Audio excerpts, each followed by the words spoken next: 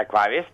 Ja, hej, det er Tony Hansen. Jeg skal høre, om I sælger piratfisk. Det gør vi, altså, hvis vi kan skaffe den, så gør vi det, men vi kan ikke få nogen i øjeblikket. Nå, Men vi er ved at undersøge, om vi kan... Der er en, der er nemlig har skrevet op til 25. okay. Og så jeg prøver, om jeg kan skaffe nogen i hvert fald. Hvor mange var du interesseret i? Jamen, det kommer sådan set lidt an på, hvor meget de spiser. I jamen, de spiser meget. Det gør de. Ja, ja. Hvor Ja, stor, for hvor jeg stor er har- det akvarie, du har? Ja, det er, ja, det er sådan en, en øh, ja, det er sådan faktisk en bassin, ikke? Javel. Der er nok på en øh, 5.000 liter. Javel.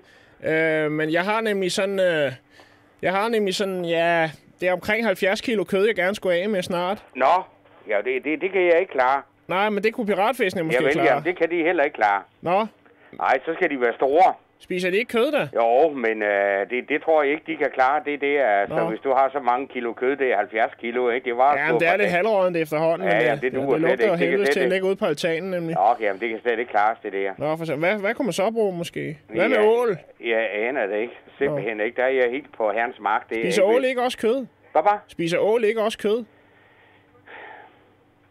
Ja, men umiddelbart ikke. Altså, det, det uh, ål, om de spiser kød, jamen, de spiser nok alle de der rejer og alt det, der er ude i naturen, og hvad ved jeg, ikke?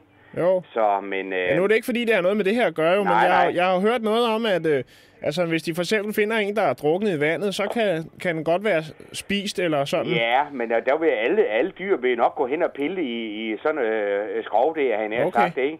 Det er Nå, så må jeg have fat i nogle ål. Ja, det ja, ja, men uh, det, jeg, jeg, jeg ved det ikke, men altså, der er jeg lidt på herrens mark i hvert Okay, fald, ikke? det er fint nok. Jeg prøver at få fat i Okay, nogle ål, så godt tak skal du have. Hej.